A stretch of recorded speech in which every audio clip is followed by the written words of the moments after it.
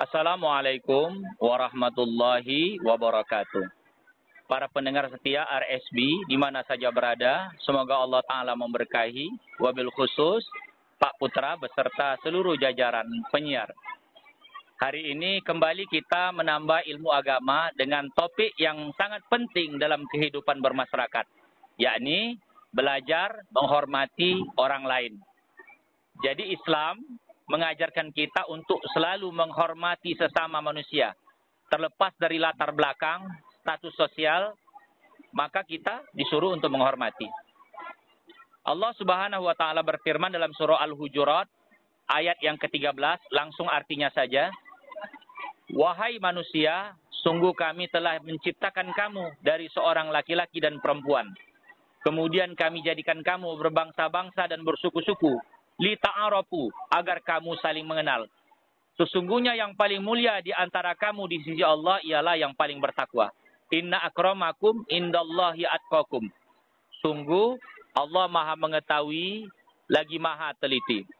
Jadi ayat ini mengingatkan kita bahwa perbedaan di antara manusia adalah fitrah yang diciptakan oleh Allah Subhanahu wa taala.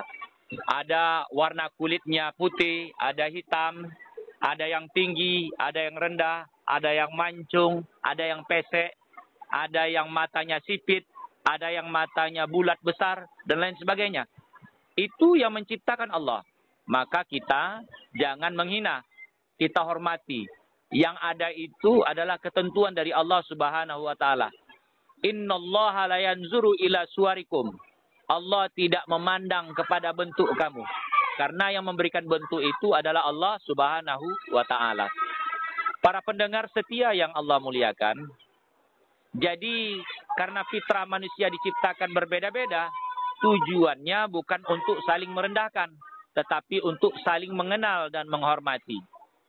Kalau kita menghina, berarti kita menghina ciptaan Allah Subhanahu wa taala. Nabi Muhammad SAW juga mengajarkan kita penting menghormati orang lain. Ada hadis riwayat Imam Muslim yang artinya saja tidaklah beriman seseorang di antara kamu sehingga ia mencintai saudaranya sebagaimana ia mencintai dirinya sendiri.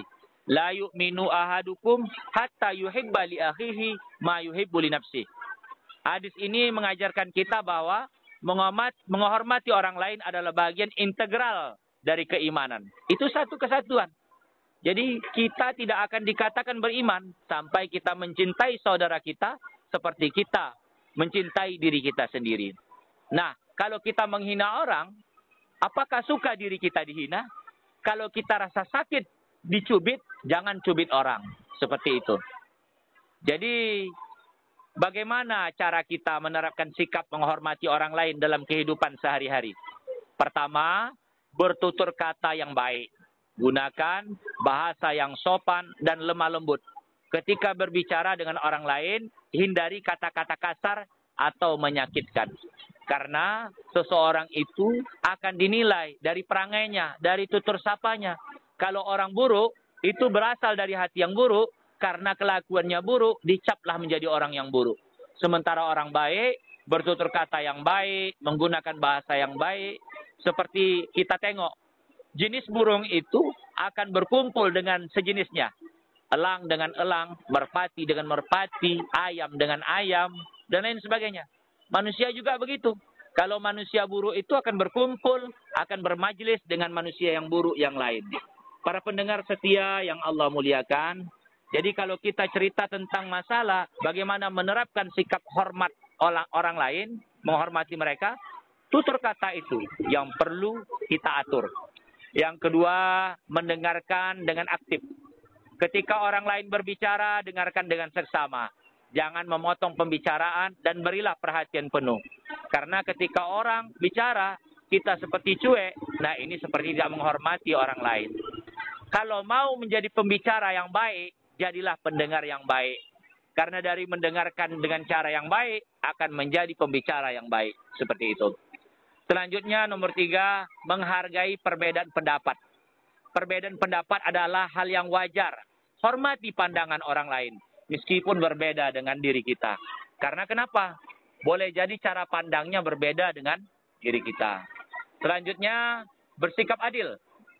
Perlakukan semua orang dengan adil tanpa memandang status sosial atau latar belakang mereka. Ah, ini cara menghormati. Bersikap adil. Kalau memang dia betul, walaupun dia orang susah, tetap dinilai dengan betulnya itu. Walaupun dia orang kaya, tapi dia salah, tetap. Ah, ini namanya menghormati orang lain. Selanjutnya, nomor lima, membantu yang membutuhkan. Tunjukkan kepedulian dengan membantu orang lain yang sedang kesulitan. Nah, ini juga menghormati. Ada orang sulit, dibantu. Ada kebakaran, ada kecurian, ada yang sakit, bantu. Nah, ini berarti kita menghormati orang. Kalau kita menghormati orang, kita akan dihormati orang. Selanjutnya, nomor enam, menjaga privasi orang lain. Setiap orang mungkin punya rahasia. Hormati privasi orang lain itu. Seperti kalau kita di radio ini sering menggunakan inisial, mungkin kita harus hormati. Ada hal yang patut dijaga. Nah, itu cara menghormatinya. Jangan menyebarkan aib atau rahasia mereka. Selanjutnya, caranya nomor tujuh menghindari prasangka buruk. Jangan mudah suuzon. Karena berprasangka buruk terhadap orang lain itu akan merusak hati kita. Berikan mereka kesempatan untuk menjelaskan. Dengan menerapkan sikap-sikap ini, kita tidak hanya menghormati orang lain, tetapi juga menciptakan lingkungan yang harmonis dan damai. Ingatlah bahwa menghormati orang lain bukan berarti kita harus setuju dengan semua tindakan atau pendapat mereka. Kita tetap harus menegakkan kebenaran dan mencegah kemungkaran dengan cara yang bijaksana dan penuh hikmah. Jadi demikian saja Pak Putra yang dapat saya sampaikan pada hari ini. Kalau ada yang mau ditanyakan, persilakan. Demikian. Assalamualaikum warahmatullahi wabarakatuh.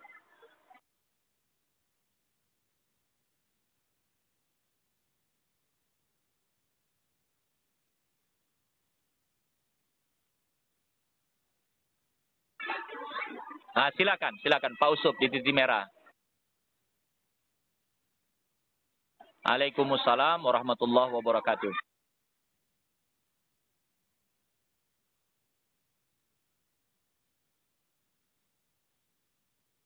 Iya, Pak Usop. Pertanyaannya bagus sekali. Kenapa orang kaya itu lebih dihormati? Yang menghormati itu orang yang di dalam hatinya unsur penghormatan itu adalah materi. Jadi karena di dalam hatinya ada dunia, mana yang lebih banyak dunianya itu dihormati. Kalau kami para guru-guru ustadz itu kami akan menghormati orang yang berilmu. Makin berilmu bagi kami, maka penghormatannya makin besar. Kalau yang kaya itu ya biasa-biasa saja. Jadi tergantung hatinya isinya apa. Kalau isinya dunia, dia akan menghormati orang yang paling banyak dunianya. Contohnya, orang ahli ibadah akan menengok orang yang ahli ibadah yang lain. Dia akan hormat patuh.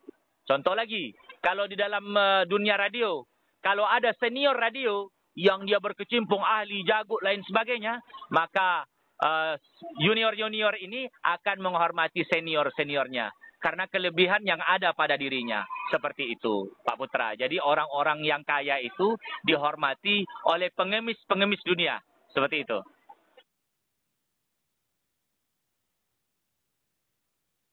Iya, hukum alam sekali. Ada istilahnya kalau apa hukum rimba, ya kan? Yang paling kuat menang. Ini kalau hukum alamnya ya, kalau yang kaya dihormati orang yang susah gitu.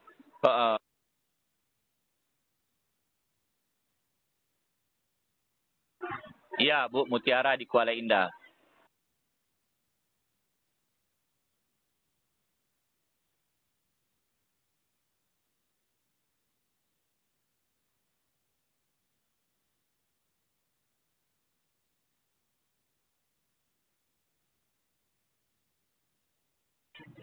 Iya.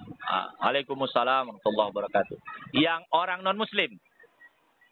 Kalau orang muslim, kalau orang muslim tak menghormati ini, inilah satu kekurangan kita. Kita bukan di negeri yang ada hukum badan itu ditegakkan dengan hukum agama. Kalau di dalam negara yang menerapkan Al-Quran hadis hukum agama sebagai hukum badan, orang-orang yang tak puasa itu harus dipenjara itu. Ah, sampai nanti waktu buka, baru dia dikeluarkan dari penjara. Ah, jadi mau tak mau dia seperti puasa. Ah, jadi kalau kita ini kan di Indonesia di fasilitas nikahnya di fasilitas, ibadahnya di fasilitas, tapi masalah hukum badan tidak di fasilitas. Seperti itu. Jadi ada memang agak boleh dikatakan ketimpangan. Jadi itu kembali kepada iman. Kita menilai saja oh, kurang dia. Boleh jadi kita sangka gini saja. Dia kalau muslim boleh jadi dia lagi sakit. Ah, udah itu lagi boleh jadi lagi musafir. Tapi kembali memang harus uh, mengkondisikan janganlah tidak menghormati bulan puasa. Jadi ada kemuliaannya. Itu sebetulnya dia memberikan stigma yang buruk bagi dirinya sendiri. Seperti itu. Iya. iya, betul, betul.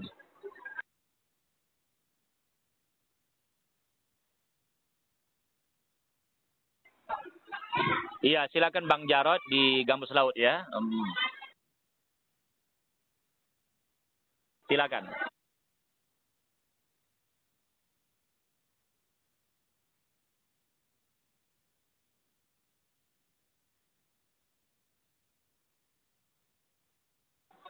Kayak mana tadi?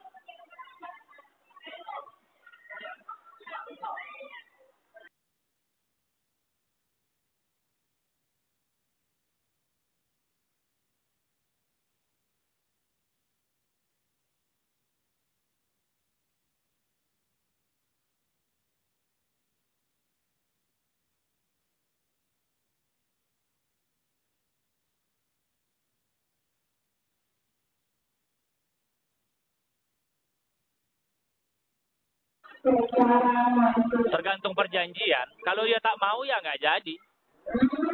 Ya ini kan namanya kesepakatan. Saya agak kurang menangkap juga. Cuman kalau kesepakatan dia nggak mau ya sudah. Namanya tukar pakai. Ya janji kan gitu. Aku pakai ini, kau pakai itu kan gitu. Ini, mm -mm.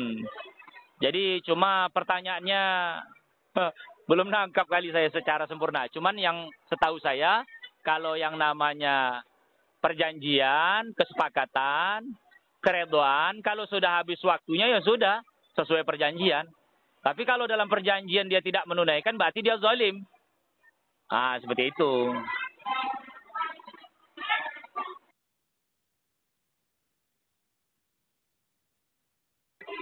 Iya, sudah janji tapi tak ditunaikan.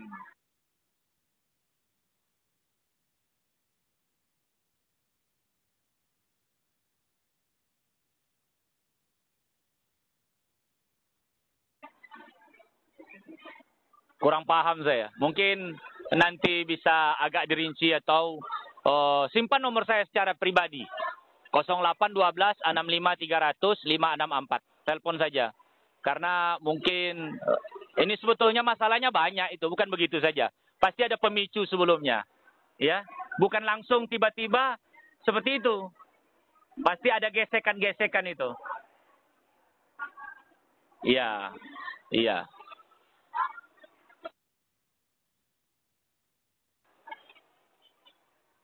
Iya, para pendengar setia RSB di mana saja berada. Jadi kita dituntut oleh Allah Subhanahu wa taala sebagai anak cucu Adam memuliakan seluruh anak cucu Adam. Oleh karena itu sepatutnya kita saling menghormati sebagai sesama makhluk ciptaan Allah Subhanahu wa taala. Apatah lagi kalau kita sesama Islam. Semoga Allah senantiasa membimbing kita saya, Pak Putra dan seluruh pendengar untuk menjadi hamba yang selalu menghormati dan menghargai sesama. Amin ya rabbal alamin. Subhanakallahumma rabbana wa bihamdik asyhadu an la ilaha illa anta astaghfiruka wa atubu ilaik. Assalamualaikum warahmatullahi wabarakatuh.